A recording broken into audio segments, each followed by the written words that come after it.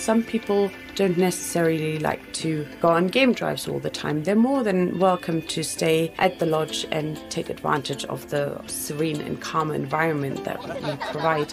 Others would love to see birds all the time or would love to go out on game drives three, four times a day. And that is what we cater for. We pride ourselves in tailor making a safari experience.